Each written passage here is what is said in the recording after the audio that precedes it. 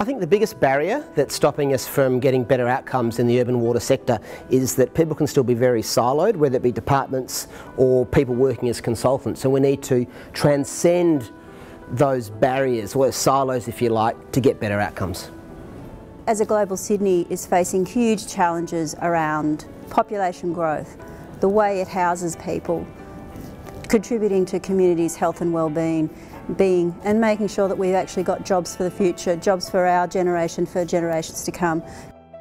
Yeah, the key barriers we need to overcome are probably to stop having too much interference from the political and government side and actually let the utilities and the experts get on with optimizing and getting uh, optimizing the system and getting a solution that really is the long-term best outcome for the city.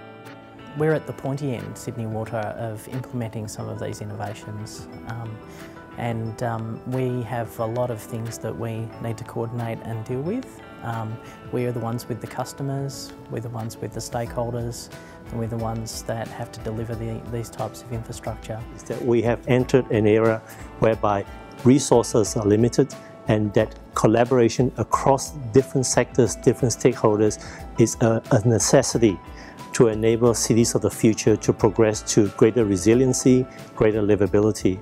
And that means macroeconomic reform uh, is going to be the key agenda for bringing different agencies together.